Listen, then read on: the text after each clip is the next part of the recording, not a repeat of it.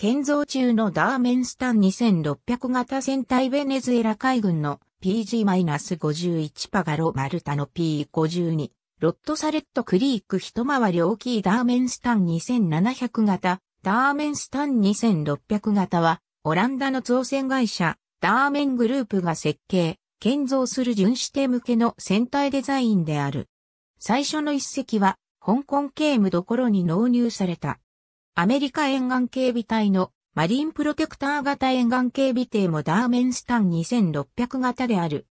75隻がボリンジャー造船所で建造され、沿岸警備隊に69隻、アメリカ海軍に2隻、マルタとイエメンに各2隻が納入された。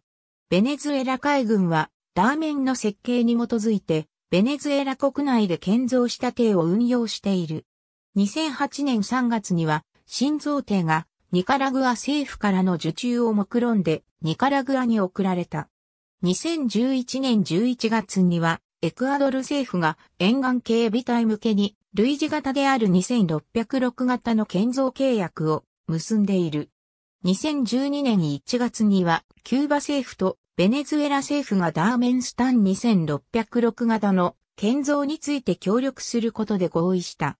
これはベネズエラのプエルトカベロにあるウコカル造船所で建造される予定である2014年5月にはバハマも4隻発注している。ありがとうございます。